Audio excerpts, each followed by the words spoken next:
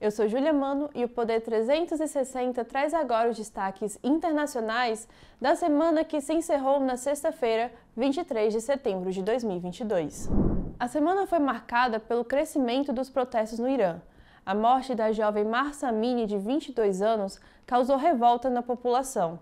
Ela não estava utilizando o véu para cobrir a cabeça e morreu depois de ser detida pela polícia iraniana.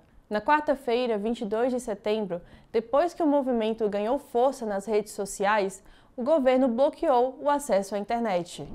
A semana também começou na segunda-feira, 19 de setembro, com o funeral da Rainha Elizabeth II, depois de 10 dias de ritos.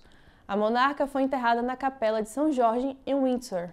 O presidente Jair Bolsonaro acompanhou o evento. Outros chefes de Estado também estiveram no funeral da rainha. O presidente dos Estados Unidos, Joe Biden, o presidente francês Emmanuel Macron e o presidente da Coreia do Sul, Yoon Suk-yeol, foram convidados e marcaram presença. No dia seguinte, na terça-feira, 20 de setembro, líderes mundiais se reuniram na Assembleia Geral da ONU, em Nova York.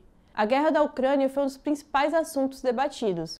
Na quarta-feira, 21 de setembro, o presidente da Ucrânia, Volodymyr Zelensky, discursou na ONU por meio de vídeo gravado. Ele pediu uma punição justa contra a Rússia. O presidente dos Estados Unidos, Joe Biden, também discursou na quarta. Ele culpou o Kremlin pela guerra e chamou o conflito de brutal e desnecessário.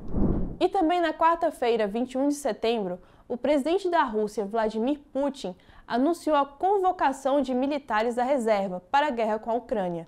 Cerca de 300 mil pessoas podem ser convocadas para o conflito.